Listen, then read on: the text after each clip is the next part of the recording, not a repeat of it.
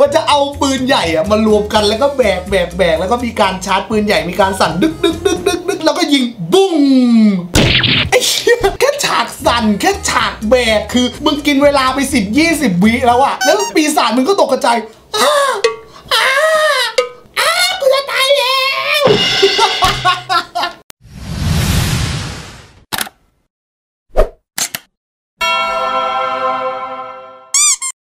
สวัสดีครับ ผมเอฟบมตีนะครับฮู้ฮู้ฮู้ฮู้เวลาผ่านไปไวเหมือนโกหกกลับมาพบกันอีกครั้งหนึ่งกับรายการที่เรารู้แล้วว่าจะลงคลิปอะไรเฮ้ยสัปดาห์ที่แล้วเนี่ยเราก็ได้เกริ่นไปแล้วเนาะว่าเราเนี่ยจะทำคลิปอะไร และสัปดาห์ที่แล้วเนี่ยคนค่อนข้างที่จะชอบนะ เออผมก็เลยรู้สึกว่าแม่งมันก็ต้องทำแล้วล่ะ มันก็ต้องทำแล้วล่ะ สำหรับสัปดาห์ที่แล้วเนี่ยเราก็ได้ทำคลิปเรื่องของ 10ไรเดอร์ที่ชอบที่สุดตั้งแต่เกิดมาสำหรับตัว F นั่นเอง แล้วทีเนี้ยก็เลยรู้สึกว่าเฮ้ยมีไรเดอร์แล้วอะมันก็ต้องมีแบบขบวนการเซนไตขบวนการ5สีบ้างแหละ ผมก็เลยตั้งใจว่า week เนี้ยคือวันนี้นี่แหละต้องทำให้ได้ แบบผ่านมาหนึ่งอาทิตย์ต้องวันนี้เท่านั้นเว้ยก็เลยตัดสินใจทำขึ้นมาครับ10อันดับขบวนการเซนไตในดวงใจของน้อง F ตั้งแต่เกิดมาครับผม สำหรับคนที่ไม่รู้จักขบวนการเซนไตเนี่ยคือถ้าเกิดให้พูดเข้าใจง่าย ๆ มันก็คือขบวนการ 5 สีที่จะมีสีหลักๆก็คือ แดงน้ำเงิน เหลืองดำชมพูเปล่าวะเออนั่นแหละแดงน้ำเงินเหลืองดำชมพู ขบวนการ 5 สีส่วนใหญ่จะมีสีโทนนี้เป็นพื้นฐานหลักทั่วทุกอันเลย แต่มันจะมีสีขาวเทาหรือสีเทาหรือสีเขียวเพิ่มขึ้นมาเป็นตัวละครเสริมอะไรอย่างเงี้ยก็จะแล้วแต่เรื่องกันออกไปเว้ยผมเลยบอกว่าอาทิตย์นี้ค่อนข้างที่จะน่าสนใจมากแล้วผมเชื่อว่าหลายๆคนเนี่ยน่าจะรู้จักกันค่อนข้างที่จะเยอะ แล้วเท่าที่ผมไปนึกไต่ตองชีวิตตัวเองว่า 10 อันดับที่ผมชอบมากที่สุดเนี่ยมันคือเรื่องอะไรบ้าง ก็ขอบอกเลยว่าค่อนข้างที่จะใหม่แบบสักประมาณ 70-80%เลยนะ คือปี 2000 ต้นๆแบบหมดเลยอะ่ะเพราะว่ายุคเก่าๆตอนนั้นคือกูดูพวกไรเดอร์มือผ้าพว่าแล้วถัดมาก็ดูพวกเซเลอร์มูนหน้ากากเสือเจ้าป่าทาร์จังอะไรอย่างเงี้ยคือในช่วงปี 1900 ไปปลายผมก็เลยไม่ค่อยได้ดูพวกกระบวนการเซนไตสักเท่าไหร่แต่ถามว่ามันก็มีสักเรื่องสองเรื่องแหละที่ดูอยู่เหมือนกัน เอาเป็นว่าเพื่อไม่เป็นการรอช้า ผมเชื่อว่าหลายๆคนก็น่าจะอยากรู้แล้วว่า 10 อันดับมีอะไรบ้างก่อนที่เราจะไปเข้าคลิปกัน ฝากกดไลค์ กดแชร์ กด subscribe ไครไครแล้วก็ subscribe กดกระดิ่ง เพื่อไม่พลาดคลิปใหม่ๆของเรา และกดเพื่อเป็นกำลังใจให้เอฟด้วยนะครับ อะ งั้นเราไปดูเลยครับ อะไม่เกินอะไรเยอะแล้วเซนไตเราก็พูดไปแล้วมันคืออะไรเนาะมาเซนไตในดวงใจหรือขบวนการ 5 สีอันดับที่ 10 ของน้อง F นั่นก็คือ ขบวนการมือปราบเดกะเลนเจอร์ครับ SPD Special Police เดกะเลนเจอร์มีหน้าที่ปกป้องคุณธรรมหาเหวเลยกูจำสคริปต์ไม่ได้แล้วแม่งคล้ายๆกับเจปังเลย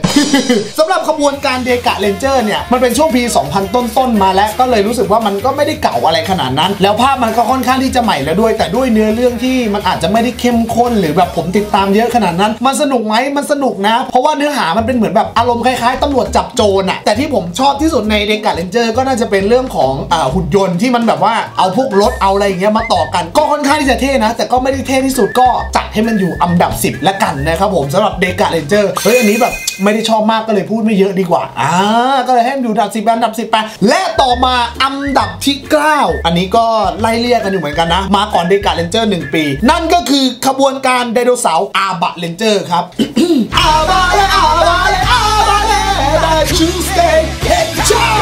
มันมา มันมาจริงอาบะเลนเจอร์เนี่ย คือสำหรับเรื่องของขบวนการเซนไตอาบะเลนเจอร์เนี่ย มันจะแตกต่างกับอันอื่นอยู่นิดหน่อยนะ เพราะว่าขบวนการเซนไตทั่วไปเนี่ย มันจะต้องมี 5 สีอย่างที่ผมบอกไปใช่ปะแต่อาบะเลนเจอร์ตัวละครหลักมันมีแค่ 3 ตัวเว้ย มันจะมีตัวสีแดง สีน้ำเงิน แล้วก็สีเหลือง costume หรือเนื้อเรื่องเนี่ย มันก็จะเป็นเกี่ยวกับเรื่องของใช้พลังพวกไดโนเสาร์อะไรอย่างเงี้ย ซึ่งมันก็ค่อนข้างที่จะน่าสนใจเหมือนกัน แต่ถามว่ามันว้าวขนาดนั้นไหมในความรู้สึกผมอาบะเลนเจอร์ผมไม่ได้ว้าวกับ 3ตัวละครหลักนะ ผมรู้สึกว่ามันแบบไม่ได้เด่นขนาดนั้นอะแต่ที่ผมชอบมันจะมีอยู่ 2 ตัวเสริมเว้ยที่ผมบอกไปแบบ มันจะมีพวกตัวสีเขียว สีขาวสีเทาอะไรอย่างงี้ใช่ไหมอย่างในอาบะเลนเจอร์มันจะมีตัวสีขาวกับสีดำที่แม่งเท่มาก แต่ผมมาชอบที่สุดคือตัวสีขาวเว้ยมันจะเป็นตัวไดโนเสาร์ขาวแล้วแบบ costume หน้ากากหรือชุดอะไรเงี้ยแม่งดูแบบมันดูล้ำมันดูแบบเก่งมันดูเทพมาก แล้วสำหรับหุ่นยนต์ที่แม่งขี่เนี่ยแม่งโคตรจับปิ้งนุกเลยฮะแล้วผมจะบอกว่าไอ้ตัวละครตัวสีขาวกับตัวสีดำเนี่ยมันเป็นตัวละครเสริมที่แบบทำให้ตัวเรื่องแม่งเด่นขึ้นมาแบบระดับหนึ่งเลยเว้ย ผมก็เลยจัดให้ขบวนการนักรบไดโนเสาร์อาบะเรนเจอร์นะฮะ อยู่ในอันดับที่ 9 นั่นเอง แต่สำหรับขบวนการสัมปสัตว์ไดโนเสาร์เนี่ย จริง ๆ มันมีเหล่า ranger หรือขบวนการเซนไตที่ผมว่าสนุกกว่านี้มันอยู่ในอันดับต้นๆไง ผมเลยเดี๋ยวขออุบไว้ก่อนแล้วค่อยพูดแล้วกันครับ ไปอันดับต่อไปเลยครับ อันดับที่ 8 อุ้ย อันนี้ใหม่ ผมว่าพูดชื่อมาน้องๆหลายๆคนแม่งรู้จักเลยสำหรับอันดับที่ 8 ในดวงใจขบวนการเซนไตของน้องเอฟนั่นก็คือ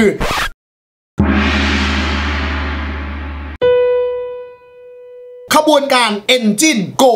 On เจอครับ เงียบเป็นป่าสากเลยสิเพลงมันร้องยังไงนะ ขับรถขับรถ อ๋อ It seems sunshine go on เจอ This team sun guy on เจอ That be sunshine on เจอ กูเขินคือโกอนเจอร์มันค่อนข้างใหม่ระดับหนึ่งเลยนะเว้ยแกแกก็น่าจะรู้จักกันป้าสำหรับแก๊งโกอนเจอร์เนี่ยเป็นขบวนการเซนไตที่ครบสีนะมี 5 ตัวแล้วก็มีตัวเสริมด้วย แล้วจะบอกว่าเรื่องนี้มันค่อนข้างที่จะสนุกด้วยเพราะตอนนั้นนะผมชอบทั้งเกมแข่งรถรถแข่งหรือรถสวยๆอะไรอย่างเงี้ยแล้วประจวบเหมาะกับตรงที่ว่าไอตัวโกอนเจอร์เนี่ยมันเป็นขบวนการเซนไตที่เอารถอะไรอย่างเงี้ยมาประกอบเป็นหุ่นยนต์แล้วไอรถที่แม่งขับกันอยู่เนี่ยแม่งเสือกมีชีวิตด้วย ไอ้สัตว์กูจำได้เลยรถพระเอกแม่งเป็นรถนกสีแดงอะบางทีแม่งมีอารมณ์แบบรถโกรธรถงอนไอ้สัตว์ไอ้เหี้ยไอ้รถแม่งมีอารมณ์ด้วยเหรอวะ ผมเลยรู้สึกว่าเออแม่งแปลกดีแล้วแม่งเป็นการ์ตูนที่ตลกเหมือนกันนะ ผมก็เลยจัดให้ขบวนการ Go On เจอเนี่ย อยู่อันดับที่ 7 นั่นเองครับ โอ้โห แต่นึกถึงเพลงแล้วพูดเลยเอ้ยสีสานใจก่อนใจเอ้โอเค ไปอันดับต่อไปเลยว่าคนเริ่มลำคาญกูแล้วและสำหรับอันดับต่อไปอันดับที่ 6 ขบวนการเซนไตของน้องเอฟน ก็คือเชื่อไม่อยากพูดชื่อเลยอะกูว่าพูดชื่อหลายๆคนไม่รู้จัก อันเนี้ยไม่น่ารู้ไม่น่ารู้จริงๆ แต่อะพูดก็พูดนะ ขบวนการความเร็วสูงเทอร์โบเลนเจอร์สัตว์ไม่มีใครรู้จักเลย ผมว่าหลายๆคนอาจจะนึกไม่ออก ถ้าผมร้องเพลงหรือท่อนฮุกหรือท่อนแรกขึ้นมา กูว่ามึงน่าจะนึกออกได้ส่วนหนึ่งแหละหนึ่งสองสามป้าบป้าบตุ๊ดตุ๊ดตุ๊ดตุ๊ดตุ๊ดตุ๊ดตุ๊ดตุ๊ดตุ๊ดป้าบป้าบตุ๊ดตุ๊ดตุ๊ดตุ๊ดตุ๊ดตุ๊ดตุ๊ 빠브 오케이 곱게. กูแก่ก็ได้กูแก่ก็ได้สำหรับเทอร์โบเลนเจอร์นะครับ เป็นการ์ตูนขบวนการเซนไตยุคแรก ๆ เลยก็ว่าได้ และขบวนการเทอร์โบเลนเจอร์เนี่ย มันเป็นยุคแรกเริ่มของการที่เอารถเอาอะไรอย่างเงี้ยมาทำเป็นชุดคอสตูม มีการแต่งตัวแล้วก็เอามาทำเป็นหุ่นยนต์ในการประกอบร่างนึกภาพออกไหมแต่สำหรับเทอร์โบเลนเจอร์อะสิ่งที่ผมชอบที่สุดเลยคือ มันจะมีฉากไฟนอลซีนไว้ที่มันจะมีท่าไม้ตายรวมกันอะไรอย่างงี้ใช่ปะเทอร์โบเลนเจอร์แม่งจะเป็นฉาก final scene ที่แบบ ไอสัตว์กูตลกอะว่าจะเอาปืนใหญ่อะมารวมกันแล้วก็แบกแบกแบกแล้วก็มีการชาร์จปืนใหญ่มีการสั่นดึกดึกดึกดึกดึกแล้วก็ยิงบุ้งไอ้เหี้ยแค่ฉากสั่นแค่ฉากแบกคือ มึงกินเวลาไปสิบยี่สิบวิแล้วอะมึงนึกภาพออกปะแล้วปีศาจมึงก็ตกกระจาย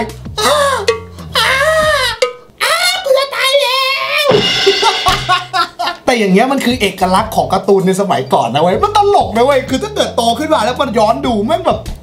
ก็ตลกเลยสำหรับเทอร์โบเลนเจอร์ผมก็เลยจัดให้มันอยู่ในอันดับที่ 6 นั่นเอง ด้วยปืนใหญ่ปรมาณูของมันนั่นแหละฮะ เฮ้ย ไม่ใช่สิ มันไม่ใช่ชื่อปืนใหญ่ปรมาณูโอ้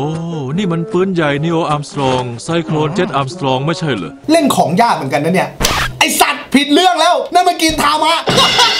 ไอสัตว์เอ้ยกูก็จำประโยคนี้ได้เลยนะ โอเค ไปอันดับต่อไปกันเลยฮะ และสำหรับอันดับที่ 5 ขบวนการเซนไตในใจของน้องเอฟ นั่นก็คือ สัตว์ไม่อยากพูดชื่อเลยอะเฮ้ยแกโว้ยแกแกแกแกโอเคพูดก็พูดมันมีชื่อเต็มขบวนการเซนไตนี้ว่า ขบวนการวิหกสายฟ้าเจ็ตแมนพี่ฮูก พี่ฮูก ไม่มีใครเข้าใจเราเลย เราคุยอะไรกันอยู่พี่ฮูก ขึ้นสำหรับเจ็ตแมนเนี่ย มันก็มีเพลงประจำของมันที่มันก็ติดหูเหมือนกันนะ ผมจะร้องให้ฟังทักท่อนละกัน เช็ดโทเช็ดโทเช็ดโทแมนสัตว์ที่ว่าต้องต้องต้องต้องเจ็ดเจ็ดเจ็ดเจ็ดโทเจ็ดโทเจ็ดโทแมนกูโอเค ต่อเลยแล้วกัน สำหรับเจ็ตแมนหรือว่าเจ็ตเทอร์แมนเนี่ยนะฮะ คือมันเป็นขบวนการเซนไตที่ตามตารางของวิกิพีเดียเนี่ยเขาบอกไว้ว่าออนแอร์เมื่อปี 1981 นู่นเลย โดยเอกลักษณ์ของขบวนการเซนไตอันนี้มันเป็นเอกลักษณ์ตรงที่ว่าขบวนการ 5 สีเนี่ย ทุกตัวบินได้ทุกตัวมีการโฉบเฉี่ยวในการโจมตีแล้วชุด costume เนี่ยทุกตัวเป็นนกหมดเลยอย่างที่บอกไป แล้วก็มีทั้งหมด 5 สีนั่นเองฮะซึ่งตัวบทเนื้อเรื่องเนี่ยก็ค่อนข้างที่จะสนุกในการ์ตูนขบวนการเซนไตในยุคปี 1990 นะก็รู้สึกว่ามันก็ก็เรื่อยๆ แล้วก็มันดี และถ้าเกิดเอาสิ่งที่ผมชอบที่สุดในเช t เ e อร์แมนเนี่ยต้องขอบอกเลยว่าเอ่อผมจำชื่อเขาไม่ได้นะว่าชื่ออะไรแต่คนที่เล่นเป็นตัวละครสีชมพูเนี่ยน่ารักมากเลยครับ ตอนนั้นแม่งปี 1990 ตอนนี้ปี 2019 เขาน่าจะแก่แล้วว่าเขาน่าจะ 40 50 แล้วอะเอฟเลิกคิดอกุศลเท ที่มันคลิปสำหรับคนทุกคนดูได้ มึงทำให้เด็กดูได้ทีเอฟเลิกจังไร please นะ ก็เจตเตอร์แมนผมก็เลยจัดให้อยู่อันดับที่ 5 คือความรู้สึกส่วนตัวว่าชอบแค่นั้นแหละไม่มีอะไรมาก และอันดับต่อไปอันดับทีสี่4 อันนี้ก็ค่อนข้างที่จะเก่า แต่ในความเก่ามันยังมีความขลังอยู่เว้ยแล้วรู้สึกว่ามันจะมีการนำมารีเมคใหม่เมื่อ2-3ปีที่แล้วทำเป็นหนังด้วยนะโอ้ถ้าพูดขนาดนี้ก็พูดเลยก็ได้มั้งก็คือ Power Ranger ครับ Go Go Power Ranger ตื้อตื้อตื้อตื้อตื้อ ครับ สำหรับขบวนการเซนไต Power Ranger เนี่ย ใช้คำว่ายังไงดี มันไม่ใช่ Power Ranger สิ ตอนแรกมันชื่อขบวนการไดโนเสาร์จูเรนเจอร์ครับ แต่ที่มันเปลี่ยนเป็น Power Ranger เนี่ย เนื่องจากว่าทางสหรัฐอเมริกาเนี่ย เขาได้ทำการซื้อลิขสิทธิ์จากทางญี่ปุ่นไป แล้วก็ไปทำเป็นต้นฉบับของสหรัฐอเมริกาเอง เพราะตอนนั้นกระแส Power Ranger มาแรงมาก ด้วยความเท่ของชุด แล้วก็เอาเรื่องของสิงสาราสัตว์ในยุคโบราณมาทำเป็นหุ่นยนต์เนี่ย ก็จะมีทั้งไดโนเสาร์ มีทั้งไอ้นกปีกใหญ่ๆ ซึ่งผมก็จำชื่อไม่ได้นะมันชื่ออะไร แล้วก็เอาไดโนเสาร์ตัวนู้นตัวนี้มาทำเป็นหุ่นยนต์มันเลยเท่มากเว้ยคือในปี 1990 มีหุ่นยนต์ไดโนเสาร์คือแม่งจ้ามากในยุคนั้นอย่างที่ผมบอกไปคือ อะไรก็แล้วแต่ในปี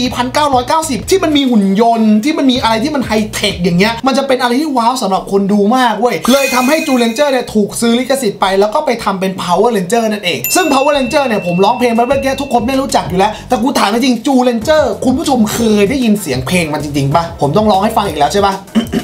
ต้องกางแขนกางขามาใน MV ไหมฮึบจูเลนเจอจูเลนเจอให้กี่แบนก็รับกันดูเดินคือ feeling มาเต็มสุดยอดนะฮะเดอะสตาร์15ผมจะเป็นแชมป์เองครับผม ไอสัตว์เดอะสตาร์ล่าสุดแม่งเท่าไหร่กูยังจำไม่ได้เลยเนี่ย ก็อย่างที่บอกไปสำหรับจูเลนเจอร์หรือ Power Ranger เจอร์เนี่ย ก็เป็นเนื้อเรื่องที่สนุกมาก แล้วก็เป็นอะไรที่ว้าวและตื่นตาตื่นใจมาก ก็เลยจัดให้อยู่อันดับทีสี่4 นั่นเองครับ แต่หนึ่งอย่างที่ผมอยากจะบอกคือมันดีเว้ยมันดีทั้งเวอร์ชั่นของญี่ปุ่นทำจูเลนเจอร์แล้วก็ Power Ranger แต่ Power Ranger หนังที่มันเอามารีเมคล่าสุดกูแบบโอ้ my god ไม่อยากวิจารณ์อะวิจารณ์เดี๋ยวก็หาว่าไปด่านางเขาอีก เอางี้มึงไปดูกันเอาเองแล้วกัน มึงลองไป search หาใน Google หรือ YouTube มึงเอาแค่ฉากแปลงร่างแล้วมึงลองไปดูเอากู no comment ไว้ไปอันดับต่อไปเลยและอันดับต่อไปอยู่ในช่วงของ top three ขบวนการเซนไตที่น้องเอฟชอบที่สุดแล้วครับผมในอันดับที่ 3 ขบวนการเซนไตของน้องเอฟที่ชอบ นั่นก็คือ ขบวนการนินจาวายุเฮอริเคนจ้าปิ้วปิ้วปิ้วปิ้วปิ้วปิ้วชูชูบะซันจ้าชูชูบะอินจาจ้าบักคิอาดาบักคิอาดาเกกิอาดากาอีดาเกมึงคลิป นี้เหมือนกูเครียดอะเหมือนแบบกูเครียดเรื่องงานกูต้องมาร้องเพลงอัดให้พวกมึงฟัง แล้วมึงก็โลกจิตฟังกูร้องเพลงเนาะ สำหรับ Hurricane นะฮะ เป็นอะไรที่แบบว่าเท่มากแล้วผมต้องจัดที่แม่งอยู่อันดับ 3 จริงๆ ผมชอบทั้งการ์ตูน ผมชอบทั้งเกมคือมันผลิตมาดีมากเว้ย ทั้งพล็อตเรื่องทั้งคอสตูมที่มันเอานินจาเข้ามาเกี่ยวข้อง การต่อสู้ที่มันมีฉากการต่อสู้แบบนินจาชงเชงชงเชงมีการสับภาพแบบปิดฉากแล้วก็ต่อสู้ฟึ๊บฟึ๊บฟึ๊บฟึ๊บ คือแม่งเท่มาก และหุ่นยนต์ในการต่อสู้เนี่ยกูบอกเลยแม่งแบบแงเป็นนินจา คือมึงเข้าใจคำว่านินจาบ้านนินจาแม่งแบบ assassin เนี่ยแก แล้วตอนนั้นน่ะปี 2000 assassin แม่งเท่มากเว้ย แล้วตัวละครที่มาเสริมอะมันเป็นตัวละครสีเขียวป่ะถ้าผมจำไม่ผิด อันนั้นมันก็ออกแนวกวนตีนกวนตีนเหมือนกันนะฮะ ก็เลยรู้สึกว่าเฮอริเคนเจอร์เนี่ยเป็นขบวนการเซนไตที่ผมค่อนข้างที่จะชอบแบบองค์ประกอบทุก ๆ อย่างเลย ก็เลยจัดให้มันอยู่ในอันดับ3นั่นเองครับ อยากแนะนำให้คุณผู้ชมไปดูเหมือนกันเนี่ยอันดับต้นๆหรือแบบทั้ง 10 อันดับเลยคือ มันสนุกและแตกต่างกันออกไปเว้ยและอันดับที่ 2 ขบวนการเซนไตในดวงใจของน้องเอฟนั่นก็คือเฮ้ยอันนี้มาแล้วว่ะขบวนการไดโนเสาร์ที่ผมชอบมากกว่าอาบะเลนเจอร์มันอยู่ในอันดับ 2 ครับ นั่นก็คือขบวนการสรรพสัตว์กาโอเรนเจอร์กาโอเรนเจอร์กาโอลาสุกาโอเรนเจอร์